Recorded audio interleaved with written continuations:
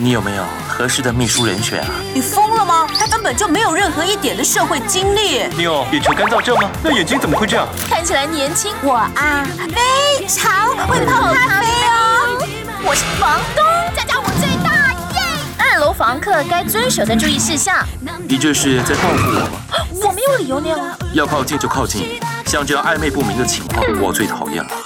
周一至周五晚间十点，Dr. Joe 森田药妆超完美秘书。